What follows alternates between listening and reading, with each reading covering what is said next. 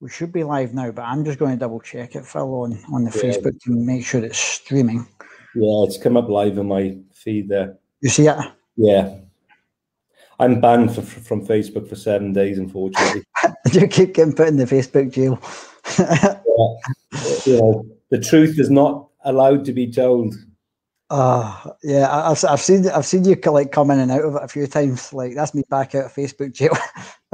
that's it's incredible. Since when did they um, have the right to take away the freedom of speech? Eh? Yeah, I know. I mean, I wouldn't mind if I didn't know what I was talking about. in the Facebook jail.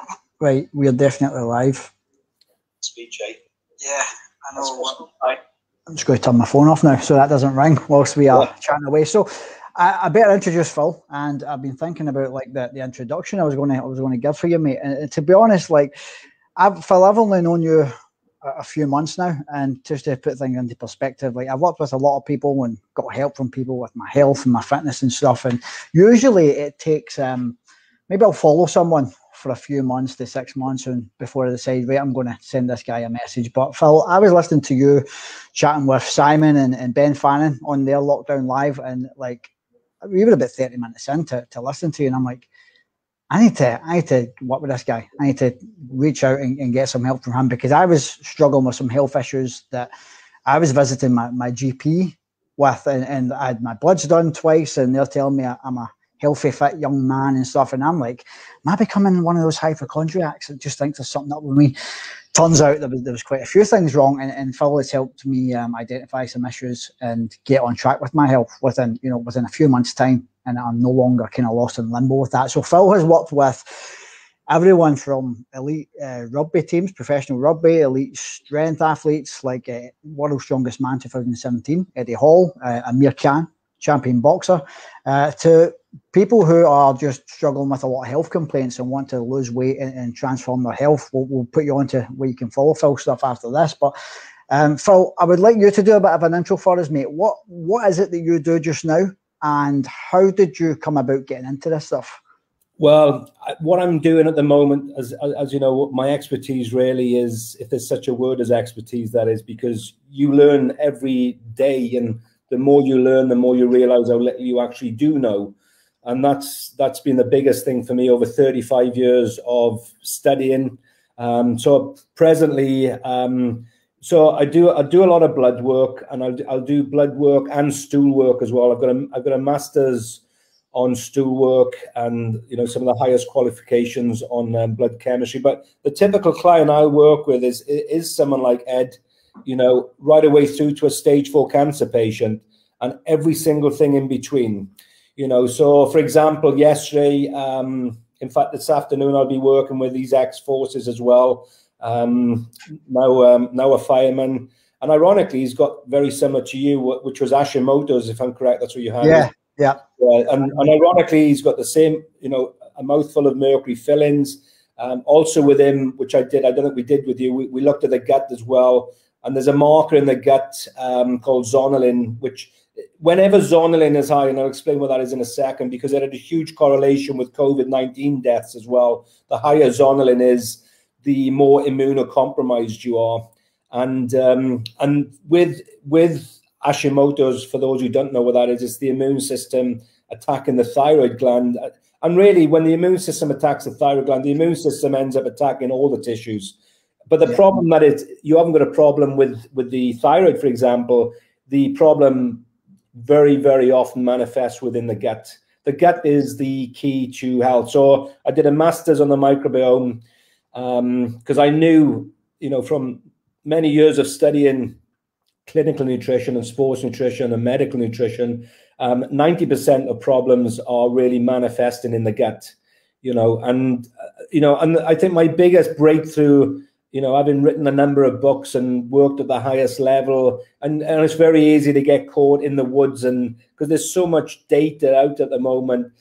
But about six months ago, um, I kind of come to the conclusion there's only real there's only three driving factors behind all non-communicable diseases like heart disease, cancer, um, diabetes, obesity, dementia. Those are the five biggest killers in the Western world, and and when when I understood these three factors, which I'll explain what they are in a second, you'll realize that disease can be eradicated very easily in society, but disease is a trillion pound industry.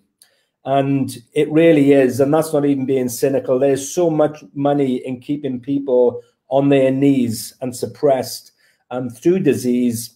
So, what I discovered was the three driving factors, and in no particular order, it's nutrient deficiencies, as I see from my lab work. You know, for example, in the current pandemic that we're in, you know, and you see, like when I look at the at the at the lab work, and like I did two courses on immunology, one with Harvard and one with Toronto University, so I understand the subject. But what I realized with even with these universities, they'll never mention nutrition. They're so obsessed with vaccinations and medications that will never resolve. Nobody is ever born with a vaccination deficiency or a medication deficiency. And what I discovered, like in the Science of Fat Loss online certification course I run, there's a four-hour webinar just on nutritional immunology.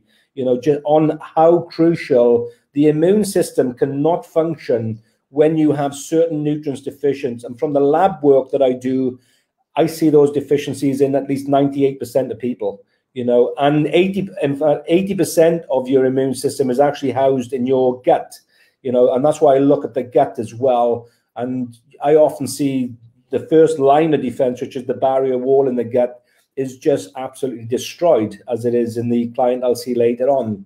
You know, so um, you know, so what I discovered is if you've got nutrient deficiencies, a toxic overload like what you had with the amount of mercury, and and it's not just the mercury, you know, it's aluminium, it's parabens, it's pesticides, it's herbicides. We are swimming, and like there's a whole webinar I give on this in the science of fat loss as well. It's lesson four, which is all on the driving factor behind our obesity epidemic as well as the disease epidemic is the enormous amount of toxins, and those toxins interfere with the way that cells communicate with each other. So the immune system becomes dumbed down, the hormonal system becomes dumbed down, and so does the nervous system. And you've got to look at the human body is nothing more than a conglomerate of 50 to 70 trillion cells. And they all depend on the efficiency of communication amongst the cells. Now, it's no different to a population. If the, communi- the communication gets distorted, then all of a sudden you get different factions going on. Yeah, the message isn't getting through to what we want, which is continuity, for example. And then these cells start misbehaving badly. So when you've got nutrient deficiencies and you've got toxic overload, disease will always find you. There's that it's like disease, it's not bad luck. For someone to have cancer or to have a heart attack or dementia or to be obese or to be diabetic is not bad genes and it's not bad luck. It's these factors. And the third one then is chronic long-term stress. So when you put in nutrient deficiencies, toxic overload, and long term stress. That is the absolute vesicle that we create internally that then ma- manifests in some people it, it can be cancer in others it can be dementia it can be obesity you know so name the disease and then from something like the covid-19 for example the reason why that's had such an impact is because we live now in a society with chronically nutrient deficient people. So the immune system is completely suppressed with chronic toxic overload and then chronic stress. And then when you put that together, that's the perfect storm. And as I've said repeatedly, you know, vaccinating toxic nutrient deficient people still creates a toxic nutrient deficient person. You know, when you actually understand the immune system like I like I do, it's insanity, you know, and that's not even an anti-vaccine rant the objective should be if the, if if the authorities really care, and it's not the government because governments are here today and they're gone tomorrow. You know, they, they're just the voice of the people above that is suppressing the masses, and you can keep people dumbed down if you keep feeding them shit food. You keep honest. I can't tell you how destructive the toxicity levels and the pesticides are having on every single living organism in this world you know, and as I said, if you keep listening, then, you know, because stress, then, so you've got the nutrient deficiencies, you've got the toxic overload, and then the stress. And the stress can be physical, it can be emotional, it can be chemical, it can be financial, but the body will always react to stress the same, okay? So it doesn't matter whether you go to a CrossFit gym and do a CrossFit workout, or you come home and you find out you're 30 grand in fucking debt. The, you have the same chemical response to stress. That's the bottom line. So, so we've created the the perfect storm, you know, because you know, before I met you, you know, I'd written four books, but just before I met you, I just finished writing my fourth book, which was titled "Stop Killing Yourself with Your Knife, Fork, and Thoughts."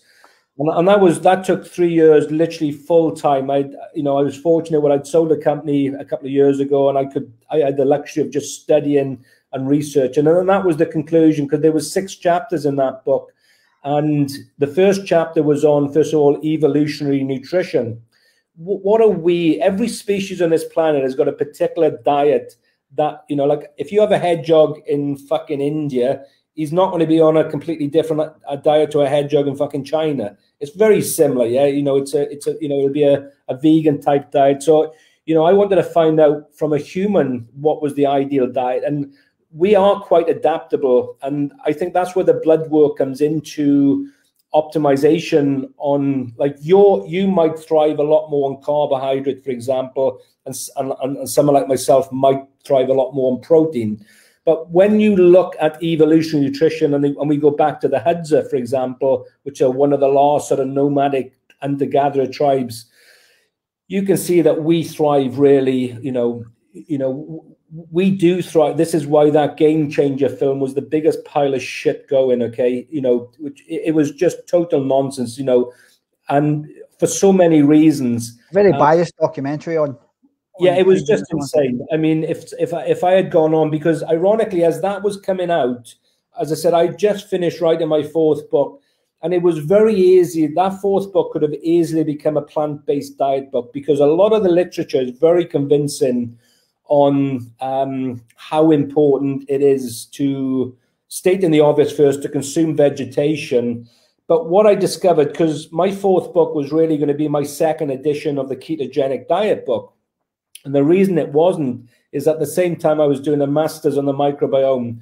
And I realized that the gut microbiome, it absolutely has when you when you feed yourself, you're almost feeding two organs. You feed in the human organ and you feed in the, the microbiome organ, which is far more um, as a, much more of a presence than what we have. You know, they the gut microbiome determines our health.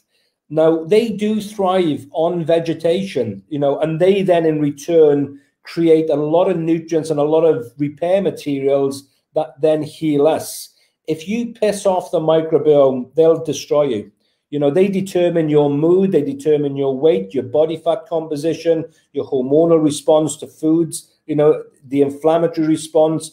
So that's when I started shifting. That's when I th- thought, fucking hell, you know, you know, actually, I will say this: the, the the two worst diets, apart from the normal UK average diet, which is just shockingly shit. You know, it is the vegan diet and it is the ketogenic diet. They're the worst fucking diets that you can put people on. The keto diet will work short term, but as a like I've just finished writing the most comprehensive course ever written on the science of fat loss. I wrote the most comprehensive book, but the science of fat loss course has got 95% new content to what the book had, which I finished publishing about seven years ago. And the reason why I'm saying that is um, if you want to make someone um, ill, put them on a keto keep put them on a keto diet long term and if you want to make them really fucking ill, put them on a vegan diet long term.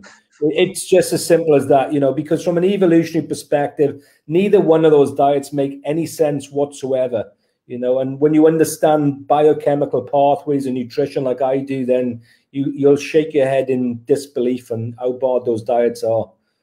And your experience, Phil, what, why is it important for us to, to consume uh, animal meats and get a lot of our protein from from those sources? Well, there's two reasons, but number one, on the animal protein, one of the most important markers to look at, and this is why the blood work is so important. You know, for example, if your ferritin levels, which is stored iron, is really, really high, that is so devastating for male and female. And in the UK, it's very, very common to have that, and especially amongst Celtic people, by the way. It's, there's something known as the Celtic curse, and it's called hemochromatosis um, where we produce, we absorb too much iron. And they've actually traced this gene back to Ireland over 40,000 years ago to an individual there when obviously food would have been so deprived of where. So this particular person developed an ability to absorb more iron because trying to get more iron out of the soil, maybe, or out of food when it was really scarce. Anyway, but um, Exeter University have just um, released some research as well showing that in the UK and in Europe, it's like one in five men have got this particular gene mutation. And I see this all the time when I look at the blood work, and it's one in eight women. So the reason why I'm saying that first is if your ferritin levels are really high, which mine were mine were through the roof, weren't they? Yeah, that's when you've got to. In fact, I had another client yesterday, and I've done his blood three times, and he gave blood. His his ferritin levels are also off the chart, and just before the pandemic broke, he gave blood like three times in a year, so every four months, and he brought it right back into the sweet spot. Now, what that will do, it will probably add around seven years onto your life. That is how. So yeah, just routinely, routinely giving blood, which is two yeah. good causes then. Yeah, there's a the, you, you, there's a between 40 and 70, I think it's nanograms per mil. Your ferritin levels need to be. It's a, there's a real sweet spot in it, but the medical system, uh, you know, will allow up to 400, which because they they they're so uneducated. Um, for example, Japanese researchers showed that in men, for example, when the ferritin is over 200 milligrams, um, then you're already starting. You you already start to significantly increase arterial sclerosis, um, oxidative damage, brain degeneration, Parkinson's, you name it, and and cancer and viruses use iron for replication. You know, so there's a very thin line. You want optimum amounts you know, too little, you're on your knees, and too much, you're on your knees. So, so the, just, oh, sorry, Phil, just to, just to be uh, clear on that one, is that would you say that's good practice for, for anyone just to regularly give blood? well, make sure they know. The, the key is is is to know your levels first. There's four iron yep. markers that you need to know, but the most important is ferritin because ferritin is stored iron, and um, so it'll tell you if there's a if if you're over, as I said, if you're over um, 100 on that maximum then I would recommend then you give blood every six to 12 months, you know, keep, keep checking those levels. It's very easy to check. And um, you want to keep it in the sweet spot, you know, which is between 40 and 70. That is the sweet spot. Um, you know, because once you do that, then you can eat copious. Like the guy yesterday, there's another marker with red meat as well, and not just red meat and white meat as well. And you're looking at something known as the omega 6 to omega 3 index, yeah? Remember, I did your fatty acids. Yep. And um, if because what what meat is meat is awesome, but the problem that we have today is that we have exceptionally high levels of ferritin and we have exceptionally high levels of omega-6 fatty acids. And what that will will create is disease. You know because the omega-6 is a pro-inflammatory fat which you find in the so-called vegetable oils which are not vegetable oils they simply seed oils things like safflower oil, sunflower oil. But the omega 6s are also coming through um, milk, meat, and eggs, and all of the dairy products. So when the omega 6 levels are high, and we've reduced omega 3 intake, can you remember what yours were, the omega 3 fats? They were really low. They, yeah, they won't be now because this, we've we've fixed we've fixed that. But yeah, I can't remember the, the exact number, but they were they were well below the the recommended the levels. Well, again, from a COVID perspective, for example, Simazon, they they found that, and I, I and I'll give you some real interesting stats And this. This is why people are dying so prematurely today. You know, as I said, exactly how I started this conversation. If you've got nutrient deficiencies, toxic overload, and chronic long-term stress, disease will always find you. It's not bad luck. Now, the omega-3 fatty acids. So when you consume a lot of meat, which is hugely important, I'll come back on to say why, because like in the last couple of lessons of my science of fat loss, it's all on hypertrophy training, muscle building. And actually, the older you get, the more protein you must consume. And that just remind me to talk about the mTOR pathway, okay? And you'll see what I'm going with this. And for anyone listening who wants to put some size on, this is just fucking crucial because um, from a fat loss perspective, 99.9% of people are doing it wrong. With fat loss, mm-hmm. what they are doing, you know, as you've seen from some of my posts, they focusing on the wrong tissue they're trying to lose fucking fat, okay? Instead yeah. of there's a completely different mindset when you have to gain muscle tissue, you know. And ask me some questions on that in a bit, and I'll give you the whole, you know, some just awesome. Yeah, there's actually some questions I've got noted down to to, to cover. Yeah, well, what was interesting when I did the first chapter, going back to the omega threes of my last book, I discovered that there were certain nutrients that we very rarely consume today that um, from an evolutionary perspective, when these nutrients are low, the body will always store fat. Okay, and the, the, the three real big ones were vitamin D, vitamin C, and omega 3 fatty acids. And also if uric acid levels are high. So if you've got low D, low vitamin D, low vitamin C, low omega 3 fatty acids, that's 99% of people listening to this, okay? And you've got high uric acid levels, which would be about 50%. Don't, don't, don't worry about how hard you train, you're fucked anyway, because the body just goes, the body is, is really signaled to store. When you switch those nutrients into the sweet spot, the body will oxidize a lot more fat. Even just sitting here doing fuck all, the body will burn.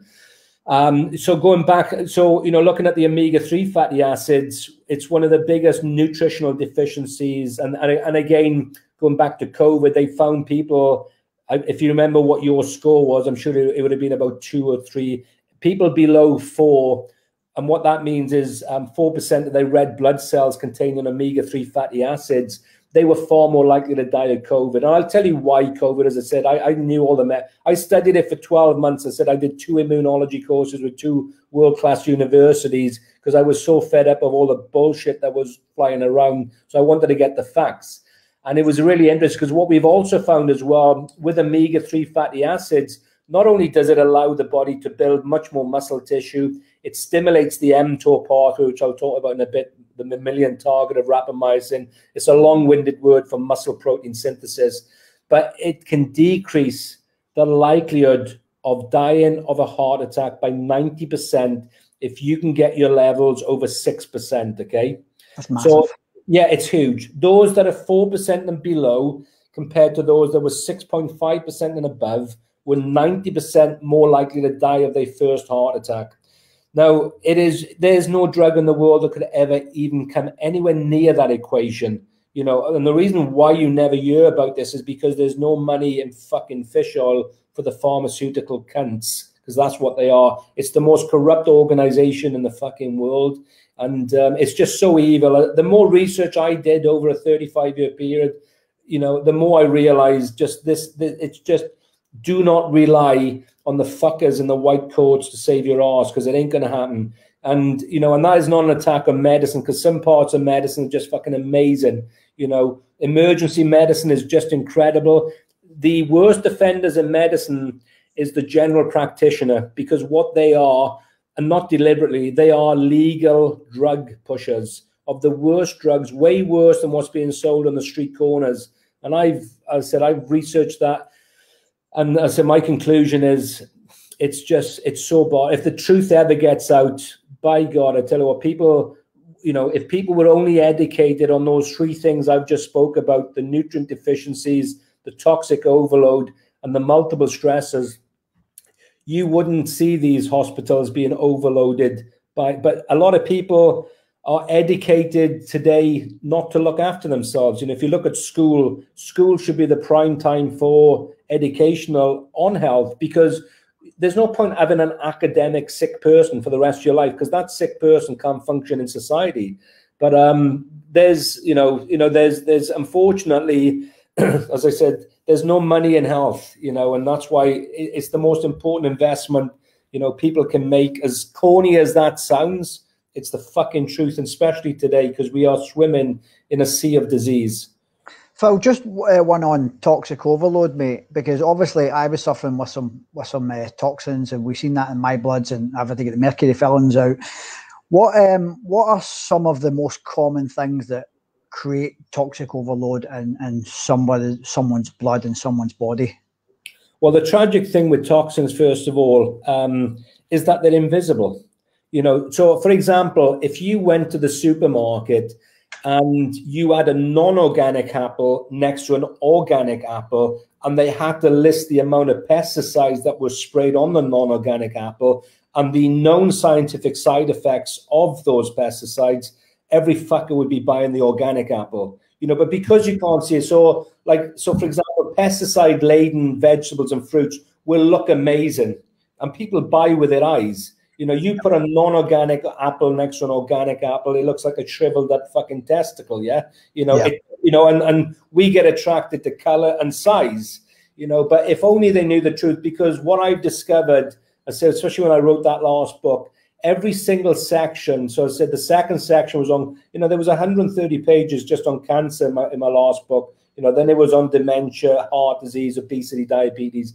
Every section um, from a real trigger for these diseases were toxicity driven you know so and things then that people don't realize like yourself when you had a face full of mercury fillings mercury is the second most toxic um, poison in the world yet the dental association believe that it was safe to put it two inches from your brain. They've known for decades that mercury amalgam fillings leak. You know the, the science on it was overwhelming. It's published in all their medical journals. But mercury is so devastating to every single cell in your body. And I know because I was mercury poisoned about 12 years ago and I had idiopathic cardiomyopathy, which I did a bit more research into that, which is really an, an enlargement of the heart where you feel like you're drowning all the time. You can't get enough air in. It's just fucking, it's, it's hell on earth. An Italian research discovered with that particular disease that they were finding 22,000 times more mercury in the heart than those who didn't have that disease. That is how devastating. But but just to make it simple, so like with you, for example, you had a lot of mercury in your body because it'll be in every single cell, it'll be in the bones, it'll be in the brain, and you had low omega-3 fatty acids as well. That will always create depression. It will always drop things like testosterone, all the hormones, all the receptors become desensitized and that is analogous. For example, I always use the goldfish bowl analogy. If you can imagine your cells as goldfish in the bowl, you know, and if you were dropping mercury and then you were dropping pesticides in there, and you think of those goldfish as you sell, eventually the goldfish just cannot survive because they're only as healthy as the fluids they swim in. And we just become so, as I said, and then you malnourish the fish, and then you stress the fish, and then those fish fucking die you know, and it's no different to the human. You know, we die in way. There's way. I mean, I've lost three people in the last nine days, all young people. You know, clients. You know, from heart attacks and cancer, and it's just. And, and when I look through their nutritional questionnaires, I'll tell you what, in every fucking one of them, five mercury fillings, three root canals, seven mercury fillings, two root canals. The biggest, they are the biggest causes of cancer. If you've got root canals and mercury, um, and you try to eat organically and you eat, you know, and you exercise all the time, you're fucked anyway. You've got to remove yeah. poison. Because like we eat organic, uh, our, our meats, organic, they're all grass-fed meats and stuff, and the vegetables, probably about, I would say 90 percent organic. We still eat out at restaurants and stuff yeah. sometimes, but most yeah. of it. And I still had, I still had these issues, you know, and that's a lot of that was definitely coming from toxicities. Yeah, oh, without a doubt. And it's in the deodorants, you know, you've got a shitload of aluminium. You got the drinking water, if it's coming from the tap, is, you know, it's, it, it, and I'm not even being over dramatic because, you know, once you, once you gather this knowledge over a long time and you look at blood work and you look at stool work and you really understand the data, if people, for example, actually knew the amount of chemicals in their tap water, I can tell you now, they would, they would get a reverse osmosis water filter fitted you would not drink it. It is loaded with approximately 300 different types of chemicals. The reason why the water is clear as well is when it goes into the into the water plants, they treat it with aluminium. You know, so what you're drinking really is recycled piss with aluminium. You know, and and, and that's what you know. And if you look at water in nature, water in nature has got life. You know, it goes over pebbles, it's picking up ions, it's picking up minerals. It should be pure, it should be clean. We've got water which has been treated with hundreds of different types of chemicals. They can't get rid of a lot of the drugs like the like the estrogen pill, antidepressants, and lots of other drugs now that they can't break down in these water plants. It travels to us in a straight pipe, you know, with a you know with a lot of chlorine in it, which is just devastating for the arteries as well as the microbiome. And we are drinking really, it looks nice again because they know that people will drink. If that was mm-hmm. cloud or whatever, and uh, like I've done water tests on tap water, and there's a device which my mate was an expert on water. You know, he developed one of the best reverse um, osmosis water machines available. Like it's in cancer hospitals, it's in a load of Premiership football teams. So he became an expert in testing tap water. And I swear to God, if you saw what was in the tap water, you'd never fucking drink it. It is so bad, but it's another. So what we've got today is a drip drip effect. Okay, so you've got pesticide laden foods. Okay, you've got pesticide laden meats. Yeah, because they're not feeding the fucking. Even if it says, um, you know, free range or whatever, um, I'd be quite. Even though I'd go for free range over conventional, a lot of the stuff that's being fed to these animals is not organic. You know, they're yeah. not feeding organic grains, etc. Like, for example, one of the worst foods you can have is farmed fucking salmon from Scotland. Yeah, when you knew, when you know how, what's really interesting with the farm salmon, by the way, is is that their omega six content is off the fucking chart, and the reason why is the pellets that they feed them is very high in omega sixes. You know, but what you've got is also the vibration of the actual animal itself. Because when the, you know, in this case, the fish, when fish or animals are stressed, they also create a lot of stress hormones, which is stored in the meat. And as bizarre as that sounds, it's true. It doesn't disappear. You know, you're eating the vibrations, you're eating the stress, you're eating the chemicals. You know, so things like that are having. You know, you know, so you know, because we can talk all day, but the bottom line is you're trying to optimize your nutrition, you're trying to detoxify and absolutely de-stress. You know, things like I'm a real big um, proponent, and I write about this quite a bit in my, in my course of like um, earthing.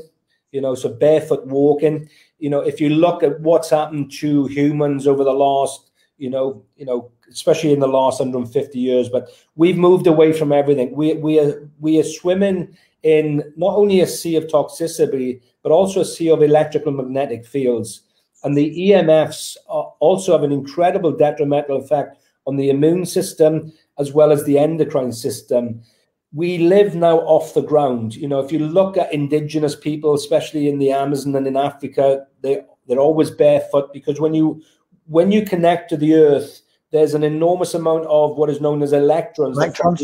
Yeah. Yeah. It'll come into the body you know, I, I spent years, for example, looking at blood under a microscope, and you know, I read some research of some real top cardiologists, and what they were doing, they were looking at blood before and after earthing, you know, after barefoot walking, and I saw this a lot of times as well, where in a lot of people the blood is clumped together, it's really sticky, it's deoxygenated, you know, within 30 minutes of barefoot walking on grass or sand, boom, you know, it's all vibrant you know, but it's a huge anti-inflammatory as well. So we've just moved away from everything. We've moved away from sunshine.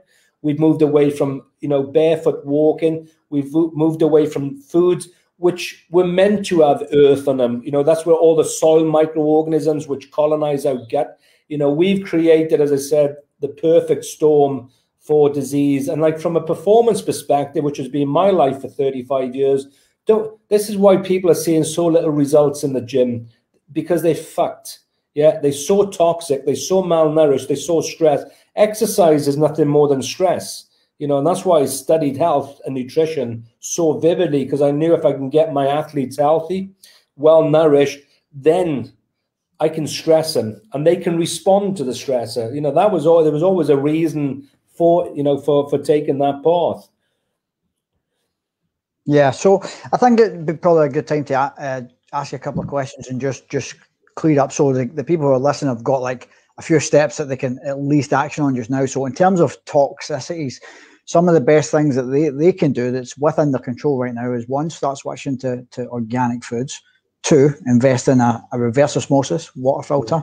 And three, if, if you've got any fillings or root canals in your mouth, then you know get the get the wallet out and go and see a, a probably a, is it right to see a, a specific mercury free dentist? That's yeah. what I did. Yeah, without a doubt. Yeah, never go to one that's still putting mercury in because they have no respect. You know, they, they are. I mean, it should be a crime against humanity, as strong as that sounds. Any person that puts in one of the most toxic substances into a human being is a psychopath. You know, but they they hide behind all this. And I, I'll add the fourth thing they need to get as well, which is not that expensive, is an infrared sauna. You can get a tent. Yeah, you know, you can go into Amazon. I mean, I've got one upstairs and you know, I spend at least 30 minutes in there four to five times a week. And not only does that detoxify you, but I tell you what, from a hypertrophy perspective, and again, I cover this a lot in my course, um, it, it, develops something known as heat shock proteins. It actually increases um, muscular gains, but it also increases growth hormone by at least 160% as well. So, you know, but as a detoxifying agent, it's just insane. We get rid of toxins through four channels, okay? So this this will sum all this up through urination. So you've got to make sure optimum hydration with clean drinking water, um, respiration. So real, you know, real sort of, you know, HIIT type training, yeah, high intensity interval type training. Um, defecation, the bowel health is crucial. And this is why you know, copious amounts of especially cruciferous vegetables are very, very important. And also things like fermented foods as well, because I said the bowels have a huge say in your health, the microbiome. And then, then the fourth, so it's urination, defecation, respiration, and uh, the other one will come to me. But they're the big players, you know. So there's four, lim- and and the and the liver is almost like the general in this, you know. And this is why I look at liver markers because if the liver is struggling, which is very common today, then those pathways of eliminations are significantly inhibited. And, and then what happens? Then you just get a more of a buildup in the body. So respiration, perspiration, urination, and defecation. You know, that's what you've really got to make those. And on blood and stool work, you can see if those pathways are working. Superb, mate. Thanks. Uh, so moving on to like uh, fat loss uh, in general now as a, as a result what are some of the biggest mistakes that you see people making? Like whether whether somebody's got two stone, three stone to lose, or whether they're just trying to get leaner, um, lose a little bit of belly fat, and, and tone up per se. Well, the biggest thing is what they do in first is that they try to approach it already in a disease state. So, for example, you know, and again, this is why I went into blood chemistry analysis and stool analysis in a big way. Okay, because all these before and after pictures, I put a post on Facebook not so long ago saying I'd be more impressed if I saw the before blood test and the after blood test than the pictures. Yeah. You know, for example, um, if you go onto my site, there is a great picture. There's a course that I used to run, um, strength training for athletic development. If you scan down right to the bottom, you'll see a picture. And I never did before and after pictures, but this is a great example of what I'm talking about.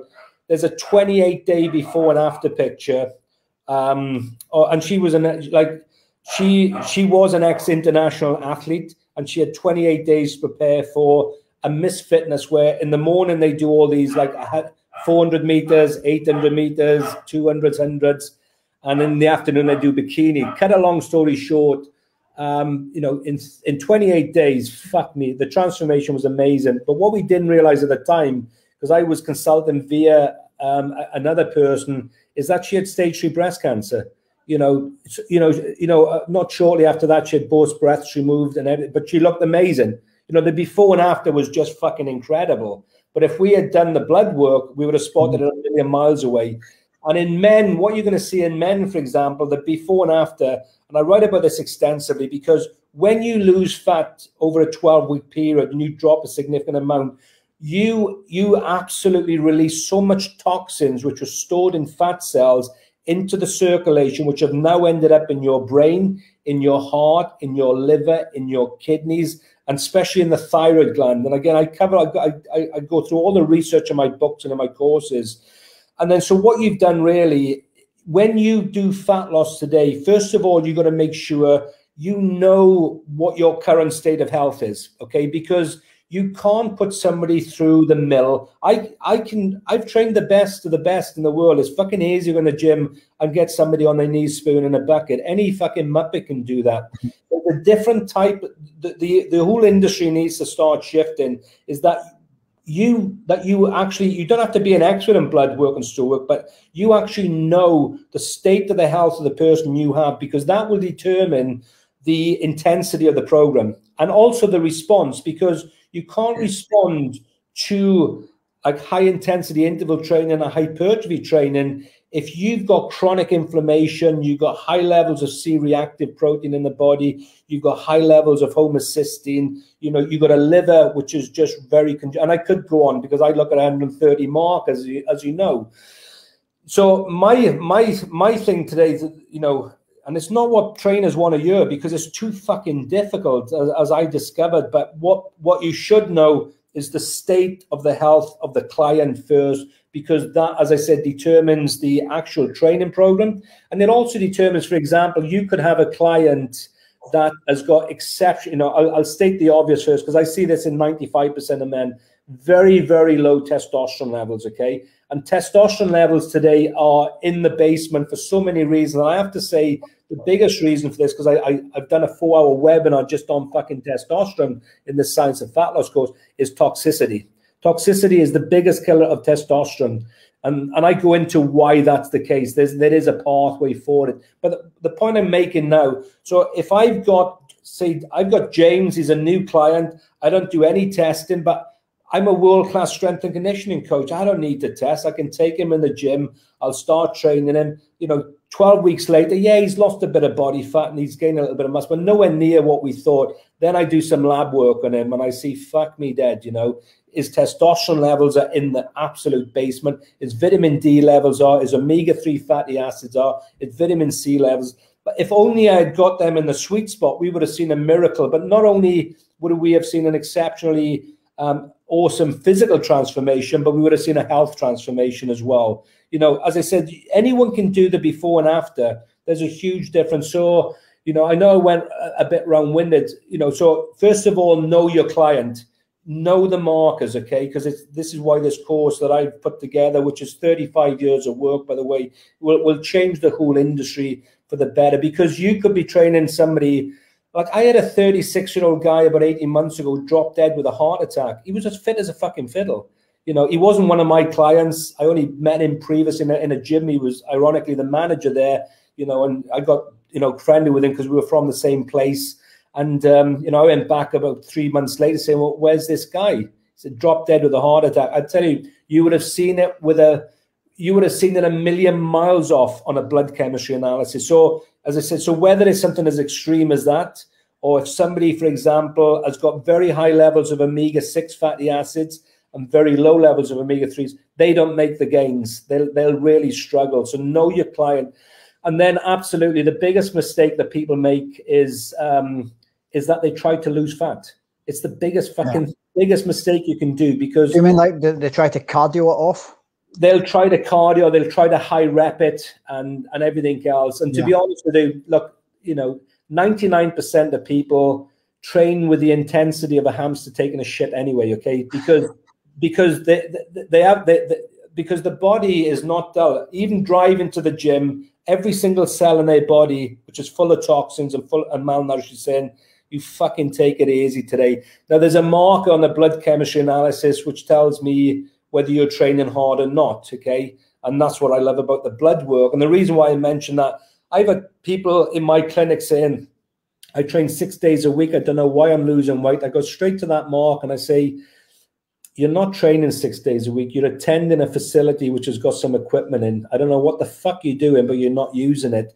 Um, you know, and also Secondly, people have got no idea on the amount of effort it actually is required to get hypertrophy gains. You do get a lot of non-responders as well.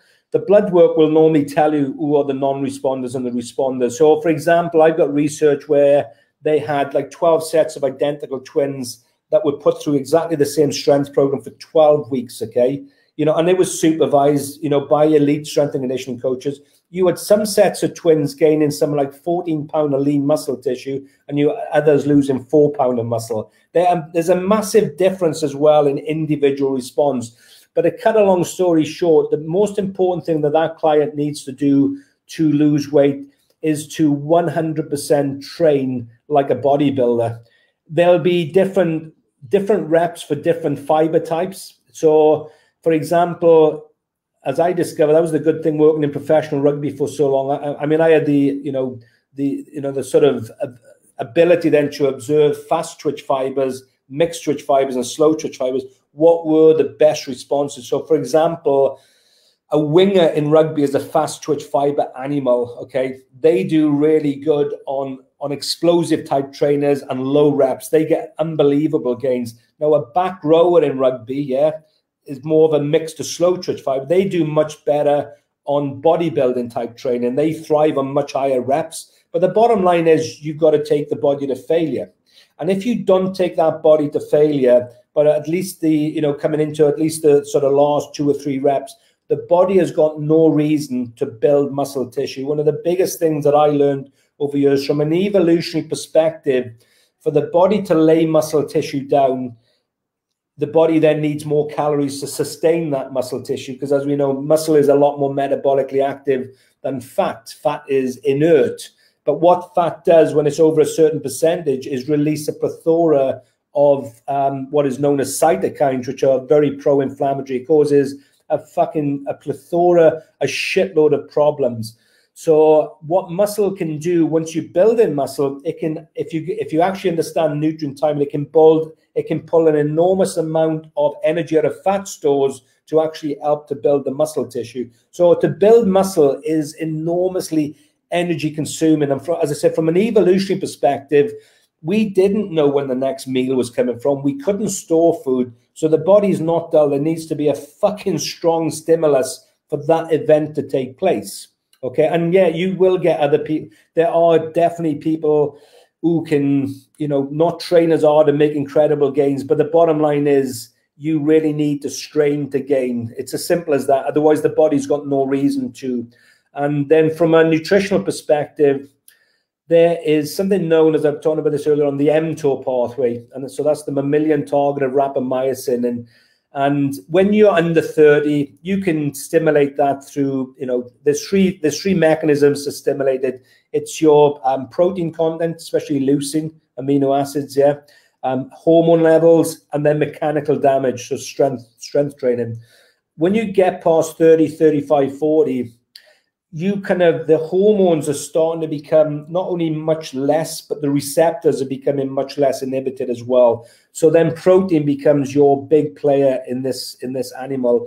And we know from the research you need at least, you know, I would say um, between 1.6 to 2 grams per kilogram. That is minimum of protein per meal. And it needs to be very high quality protein. You know, so what I do with my athletes and my clients I get them to take a cocktail. I think I got you to do the same as well. Yeah, the leucine, the creatine, and the glutamine about yeah. 30 minutes before meals. And what that does, it it ensures that the meal that you consume will trigger the mTOR pathway, but there's also another protein um, which is not really well known called myostatin. And myostatin is one of evolution's sort of tricks to allow us not to build muscle at an enormous level. Otherwise, we couldn't have fucking moved. So myostatin is it's it's, it's a myokinase released by muscle cells. Um, so it prevents you from and some people like Eddie Hall, for example, has got a myostatin um, deficiency. That's why Ed can build so much muscle. You know, so that's when I really started looking into myostatin and I realized, fucking hell, if we can decrease myostatin and we can upregulate the mTOR pathway, even somebody that is genetically struggling can make significant gains. And one of the most important things to, you know, to stimulate the mTOR pathway is optimum protein, but to, to inhibit, to decrease myostatin, the most important supplement, which is the, the forgotten hero of the supplement world, is creatine. Creatine is just fucking amazing at um, increasing testosterone and decreasing myostatin. You know, and also when you really understand like muscle physiology, like I do, the creatine along with optimum amount of carbohydrates for glycogen storage. This is this is important as well because this is why I'm so anti keto diet as well because the brain can sense right if you've got optimum amounts of creatine and and and um, glycogen within the muscles, which is stored carbohydrate, the brain will send a much stronger contraction to the muscle when you're training because it knows it's got a shitload of available energy. So you can be much more violent and aggressive in your strength training approach to somebody going in there. A vegan, you'll end up just hugging the fucking dumbbell. A keto, you know, there's there's no there's there's no storage within the muscle, so you're you're not really getting out of the jail and that.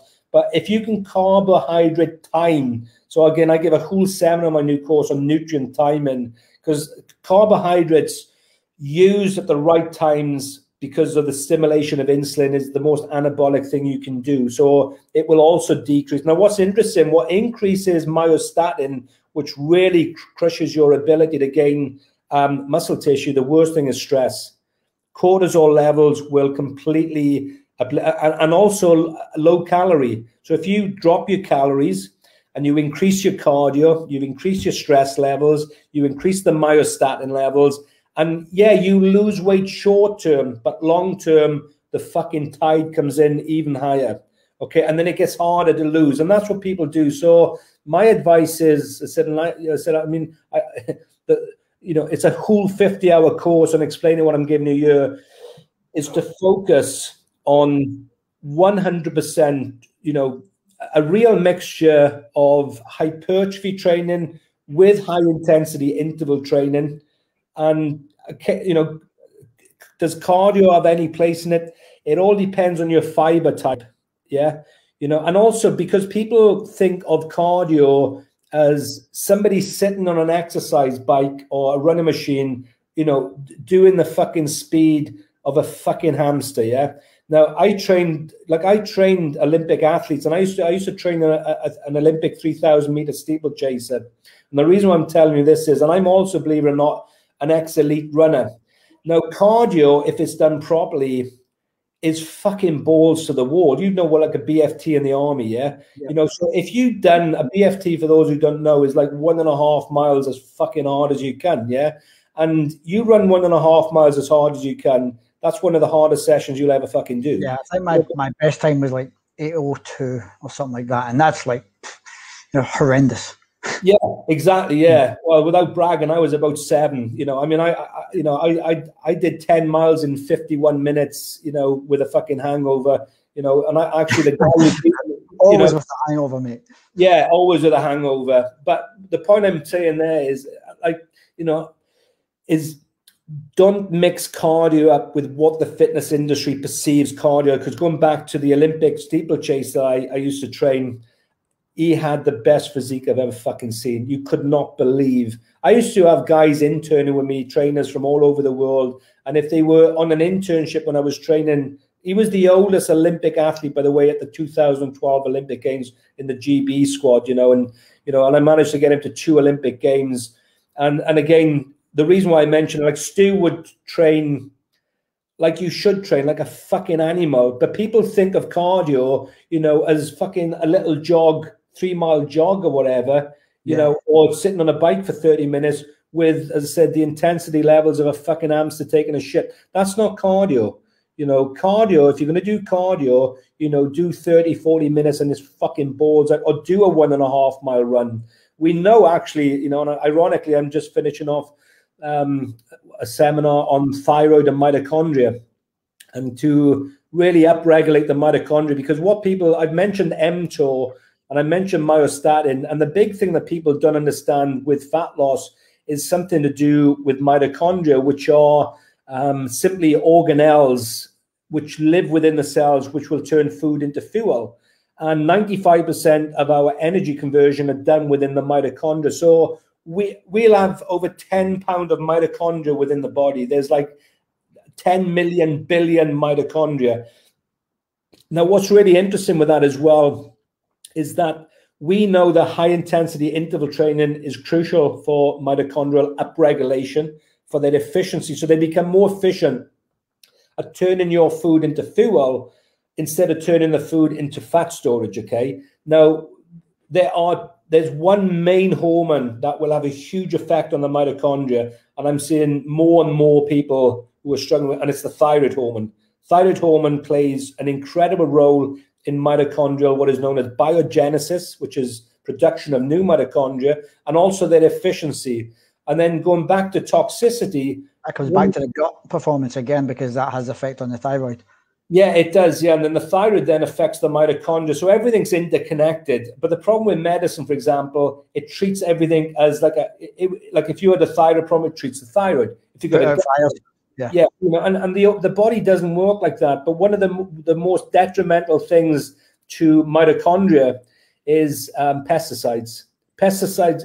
What pesticides do in pests is knock out their mitochondria, and when we consume the pesticides on the foods, it absolutely destroys our mitochondria. The two worst offenders for mitochondria, and you've got both of them, was mercury and uh, and pesticides. And I have to say, the third real burden as well is statins. Statins destroy mitochondria. Statins are the the worst medication you can ever take for anything, if I'm honest with you. Um, but for mitochondria, it just totally destroys them. So you can see, like as I said, if you you know all these before and after pictures i said i'm not imp- I, I don't give a fuck about them because like i've spent so many years studying this you know and this is why the last three years you know i've kept really out of the out of the public eye because i was so busy. In fact the last five years really i was so busy putting this course together because i thought i've got to change this fucking industry you know because i said there will be somebody today that is 42 years of age you will have a heart attack, right?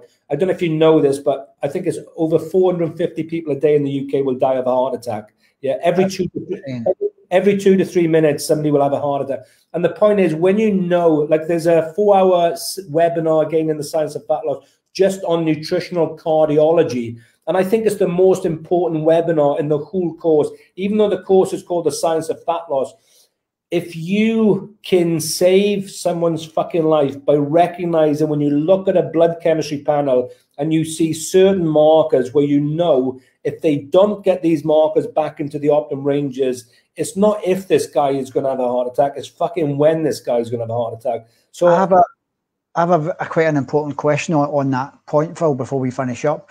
Um, what's the reason that a lot of these things aren't getting picked up through blood tests uh, at the, the standard GP because obviously I had my bloods done for several things like uh, yeah. twice within a three year period and they kept kind of fobbing me off and saying I'm perfectly healthy, but we found different when we did your blood panel. Well, there's two reasons. Um, number way, um, blood chemistry analysis. First of all, it's a science, as I discovered. You know, it, it's taken many, many years to interpret blood markers, and you've got to know what blood markers that you actually need to look at. And secondly, they don't run a comprehensive panel. So let me use let me use cholesterol as an example. Okay, so and it's not the GP's fault. The GP, the more drugs a GP can get a client on, the more that surgery gets in money wise, and the bigger the house they fucking live in. Okay, and that's again is not even being cynical. So if we looked at cholesterol, number one, cholesterol has zero correlation with heart disease. Okay, so that's number one. Number two, if you had high cholesterol in there, right, they will put you on a statin medication. But the problem with, with cholesterol in regards to blood testing and something like heart disease, there are probably 25 blood markers which they don't test for, which can tell you how close you are towards a heart attack. So we're looking at things like high sensitivity C-reactive protein, which is a marker which is telling us how much inflammation is actually going on in the arterial wall. Because heart disease and heart attacks and strokes, it's an inflammatory disease. Okay, so you've got to look at the uh, the level of inflammation within that person. The most important marker, for example, you know this is why it's always undetected and in the in the nutritional cardiology section i actually use uh, let me give you this example before we go because it's so fucking powerful because this was a 40 year old male right? So if we go back to the cholesterol um, his cholesterol levels were perfect his hdl his ldl his triglyceride. Now if i was a dumbass gp i'd say you you're just you know you're an amazing cardiovascular health. Now just above that there was something known as high sensitivity C-reactive protein, as I just mentioned, and there's another marker called lipoprotein phospholipase A2, which is a long-winded word again for how much inflammation is going on in the arteries. I'd never seen anything like it in my life. They were just off the charts. Okay, now this guy also had cancer as well, but I, I remember he was dead within 12 weeks, by the way, and I knew that he would be dead within 12 weeks when I saw how high the CRP levels were. Now I had another client then with high cholesterol um, with high triglycerides, but the CRP levels were zero, and the other marker I just mentioned was also zero. He had he had no there was no chance of this guy having a heart attack. But his GP would have thought your cholesterol's high, your triglycerides. The point was a high risk. It's this guy. It's the it, so they're looking at the wrong things. They don't know. You know, as I said, it took me several years. You know, I did the most advanced courses in the world on blood chemistry. So a they don't know and the markers that they use, they have a standardized marker, okay? So, for example, let me give you testosterone as an example. So, in a male, it's between 8 and I think it's 32, okay? Uh, in in optimum medicine, it's between 24 and 28, okay? That That's where you want to be. But your standard medical reference, which is GPs, it's so enormous that so many people just fall through the for the gaps. And like for your thyroid hormone, for example, they would never have checked the antibodies. So we looked at about eight markers on your thyroid, and we picked it up on the antibodies. And they never they never do that. They never look they never look at anything in enough detail to actually give a picture. And this is why so many people will fall through the net. You know, so you know, you know that's that's the reason why. Luke's just commenting. What a great insight, Phil. Do you have a website I can check out, please? He does. He does. It's, uh, is it Phil Richards Nutrition Lab? Yeah, it is. Yeah, and it's all being revamped because at the moment it's, it's there's enough information on there and stuff like that. The blood, you know, the male panels on there, the stool panel, the science of fat loss course on there. But in the next, because I've just been so busy researching, and it's been a fucking privilege, you know. So you know, we'll we'll come on again and just and we can just talk about singular things if you want, you know, like yeah, that would be fantastic and, and stuff like that. And I'll, I'll send this out to because I've got a lot of other guys that follow me through uh, my emails and stuff. So I'll get I'll get this to them as well, so they can get eyes on this stuff because it's really important. I think I think this is a, strong message you've got, mate. Uh, I've got I've got just a couple of questions, but it'll take a, a little minute before we finish up because some of my guys were asking some things.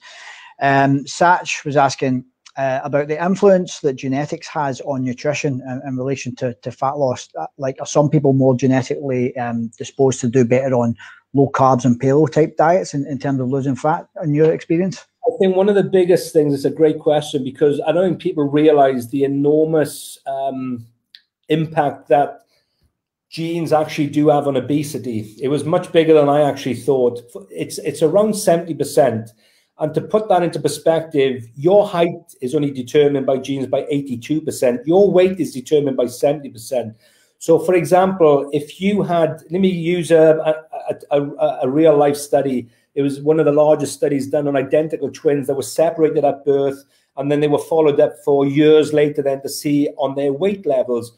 What they discovered, if you had lean parents, right, who had the twins and they went into a fat household, even 20 years later, that lean twin still stays lean in the fat household, okay? Exactly the opposite, okay? Fat twin born from fat parents. This is at birth, by the way, because I want to explain nature nurture as well, okay? Because if you have fat parents who have identical twins, and you can have one of those identical twins going into a lean household and one going into the fat household. Whatever the fucking parents were, if they were overweight, no matter what the household or the nurturing or the diet, they still normally end up becoming fat.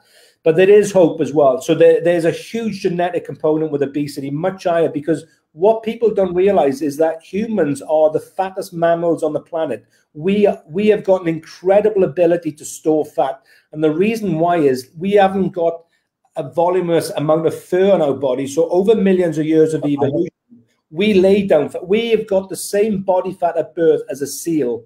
We have got exceptionally high levels of body fat, and the thing with humans is we are exceptionally good at storing fat, and we are exceptionally bad at burning fat there are a plethora of hormonal and brain mechanisms in place. The moment you reach a set weight and your body is happy with that set weight, and then you might not be happy with it when you look in the mirror, but then you start losing it, two to three million years of evolution will kick in and it will fucking crush you. And that's why if you focus on building muscle instead of losing the weight, you'll you'll offset the two to three million years of evolution. But 100% genes absolutely play a massive role. And the, for, for example, I've got a, a, um, a, scientific paper in this course showing they had four groups, and I'll make this very quick, where they you had one group that could drink as many sugared beverages as they wanted to and not gain a molecular weight. And you had another group which they genetically looked at their genes. They only had to drink one sugared beverage and they already started laying down fat. Okay, so there is a huge variation. And I could go on because I write about yeah. it enormously in my first in the first lesson of this course I run. Sweet. Uh, quickly, the last one. Well, you already kind of covered it anyway. It's like uh, Ron was asking about testosterone uh, is the best way to, to find out your level to, to test it in bloods, and obviously that is. And if required, what are the best ways to increase them? I, I would I would say the stuff we've already talked spoken about. We did mention it, um, decreasing toxic loads and you know and all those things. Well, on the blood work as well, because if you you you can't just look at total testosterone, you've got to look at total testosterone. You've got to look at bioavailable testosterone. You've got to look at free testosterone. Mm. You've got to look at sex hormone binding globulin. you've got to look at estradiol levels and you've got to look at DHT levels. And the reason why I say that is you can have a guy that has got optimum levels of testosterone. This is what another reason mine, mine was through the roof, but I wasn't using it. It wasn't yeah. bioavailable. Exactly. You had um, very little DHT, I think. So from an anabolic perspective, you could train, but you don't gain. You know, and that's yeah. and the other big thing that's never over never looked at as well when people look at blood markers is there's something known as androgen receptors. Okay, so you can have all the testosterone available in the world, even the DHT levels are high dihydrotestosterone, which is very androgenic. But if you if you are full of um, toxicity levels, and um, and there's a few other things because there's like a whole chapter on this. Um, what we know, for example, they did a 12 week trial with men on on weight training, and what they discovered was it wasn't those with the highest testosterone levels that gained the most muscle. It was those with the most receptive receptors. And what I've done, what I discovered is how to increase those receptors and things like even the way, um, even the way you do the repetition. So, for example, if you were doing a pull up, if you pulled up as fucking explosively as you could, then you pause at the top and then you come down for four seconds we know that that type of um, tempo really upregulates, and also um, intermittent fasting and vitamin D. Vitamin D is one of the most. You'll always see if somebody's got low testosterone, they've usually got low vitamin D. They work synergistic, but vitamin D upregulates the androgen receptors, and so does fish oil. Omega 3 fatty acids also upregulate. And I should say one other thing as well. It's something known as L carnitine. You know, L carnitine, which is um, an amino type acid type of formula which transports fats in the mitochondria, but it also upregulates. So, you know, when I do blood work and I look at the, you know, um, stool and all that, that's when you can get the pre, during, and post workout nutrition right as well, because that's another massive mistake that people make when they're trying to lose fat. They do it fasted. Okay if you want to do it fasted, you end up long term just becoming a smaller, fatter version of yourself than what you fucking started. You know, and, and that's why if you get the aminos right and the post workout right as well, you know, you've I said it's a different mentality going into the gym to build muscle and to lose fat. You become yeah. an animal when you build a muscle. You just become a fucking fanny when you build when you're losing fat because everything's light and you fucking cardio. There's no there's no stimulus. There's no you know, you, you, you're lowering your calories. So every time you lower the calories and you up your exercise, three million years of evolution says, I'll fucking crush your balls. Okay. And that's that's what happens. You you you won't beat the system. Yeah, totally get that, mate. Thanks very much for the the straight up army PTI advice. yeah, well, you know, there's, there's no other way Stand about it. Stand on, mate. No, uh, no, cutting about the bush. All right, Phil. Listen, uh, it would be great to have you on again, mate, for a, for a part two thank you very much. This has been very insightful, and I know they get the guys who are listening have, have gained a lot from this. So they can find your stuff at Phil Phil Richards Nutrition Lab. Yeah, that's the one. Yeah. Phil, appreciate it, mate. Thanks yeah. much. Enjoy your weekend. Yeah, Thanks no worries, buddy. Cheers, Pat.